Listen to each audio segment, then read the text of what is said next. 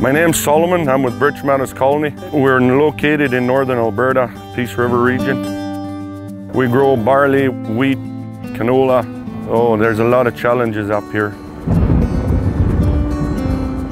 Phenomenal amount of moisture in a short period of time.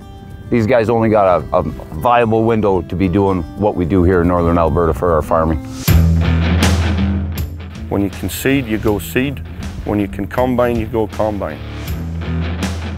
With these tractors, we found out pretty fast that tracks are not the answer.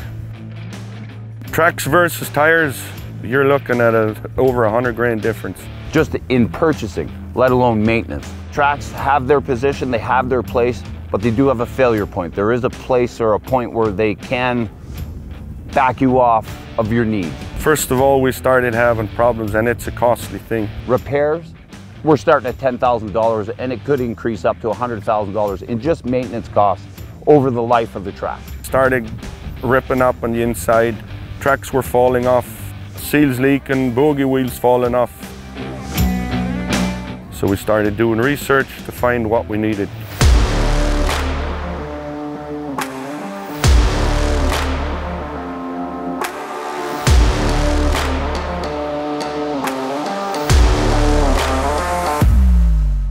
LSW is a low sidewall tire. We've taken the conventional tire and we've expanded the wheel and shortened the sidewall. So we put a high performance uh, feature into this tire, into the build. And if you go to fields where we've done seeding with it, there is no compaction anywhere around it. And if it's wet, you float right through it. Compaction, traction, and flotation. It's a big, big deal out here with the uh, Birch Meadows colony. We have never had an issue. We've never been stuck. And when you pull a ditcher, the tires here, they sit, sit in and they just go to work. And it was a hit right off the hop. Guys were just amazed at those tires, how they performed. Now these tractors are going in phenomenal size. And we got to keep up with the tire to, to meet that demand.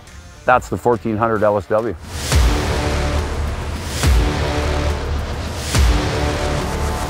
To do the work that we do, tracks is not the answer. The LSW itself in, in our area is absolutely taken off. There's, there's nothing but positives with these tires.